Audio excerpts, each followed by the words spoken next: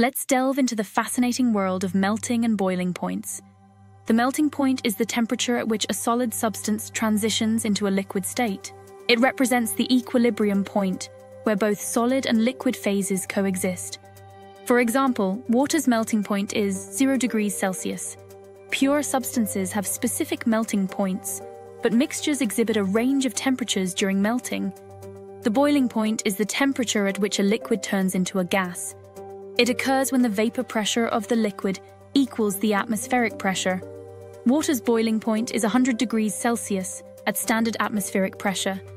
Different liquids have distinct boiling points, influenced by surrounding pressure. Pressure affects boiling and melting points.